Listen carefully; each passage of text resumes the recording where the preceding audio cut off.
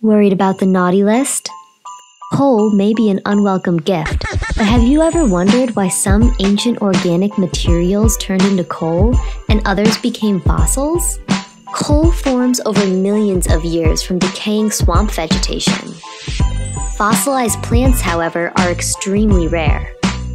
Animals with hard skeletons are the more likely candidates for becoming fossils, but conditions must be perfect for a piece of preserved history to actually form.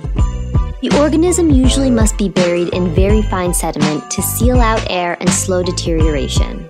As it decays, heat and pressure solidify the surrounding sediment. Sometimes decomposition is so slow, the actual organic material is petrified into stone. But usually, just a fossilized imprint remains to be found. Stuff your stockings with authentic artifacts.